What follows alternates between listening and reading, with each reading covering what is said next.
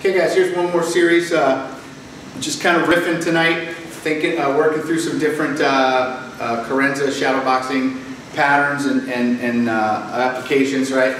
Now this one's a little bit more combative, if you will, or, or maybe that's not the right word, but um, thinking about this too as more of an impact weapon and the range, changing some ranges here. Um, so if I'm, I like to start off with just an angle one, right? So that would be maybe hitting into their hand. Now when I do my angle two, I'm going to step, okay? Because what I'm envisioning is I'm, I'm envisioning uh, stopping their, their return strike or smashing into that hand, then being close enough to grab the head. Now I've got a puño strike here like this. Boom. Then I'm rolling the head and then getting another puño strike here. I got a little excited and already got off camera. So I'm going to go one, two, grab, three, roll, boom, here like this, right? One, two, grab, hit, roll, and hit. One, two, three, and four, here like this, right? Okay guys, um, I thought I'd throw in a prop here just so you kind of visualize this a little bit more. I don't have a training partner to, to show you this, but just kind of give you the idea, right, of that, of what we're working on here in solo training. So again, my angle one, if he had arms and a stick or a weapon of some kind, could be smashing into that to his arm, right? Or it could be hitting to the head, okay? So this could all be, again, very, you know, variations, right? Different targets. But let's assume that they have a weapon, that we're taking out that weapon. Now, at, let's say either A, they kept the weapon, right? Or, um, uh, or not, we, we hit it, so I could either be coming in with the backhand slash to the head, now I'm grabbing, right? I want that elbow in like a good single collar. Now I've got my puño strike here, puño strike here. I pull and rotate, and then I've got, this is hard to manipulate here, but I pull and I've got the, the, the strike here like that. Sorry guys, it's pretty funny. Trying to, trying to work the bob dummy, trying to grapple with the bob dummy. So again, one, two, three, here like this, boom, and then I've got that backhand strike. One, two, three, and four. Okay, hopefully that gives you a little bit uh, better visualization.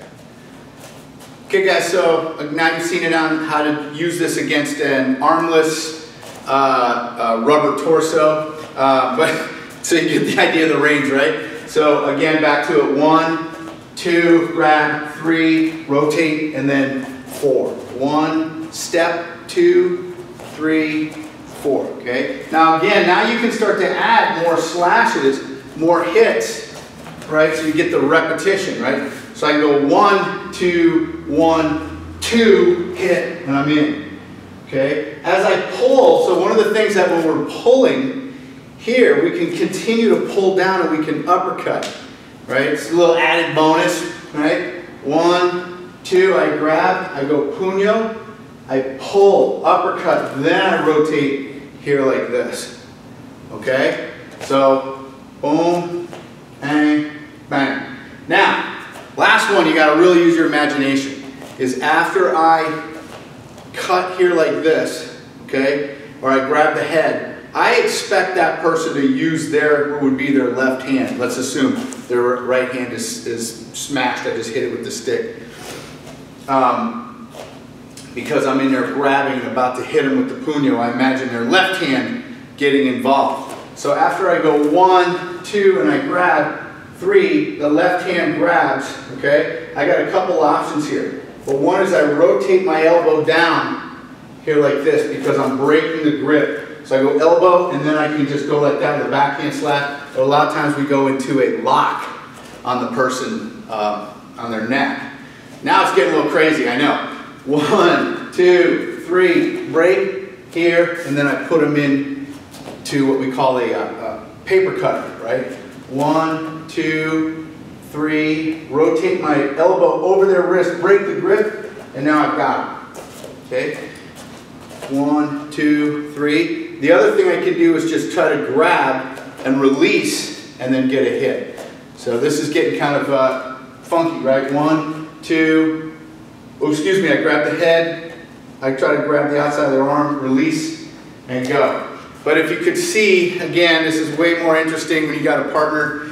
Um, if you could see the grab and how we can break that grab by bringing our elbow over the top, breaking the grip, and now we're in a position to go into one of our locks. So if you haven't been there, if this is like, you know, if you're just picking this up, that might be hard for you to, to visualize. So just get the first part. One, two, grab, three, rotate, and four.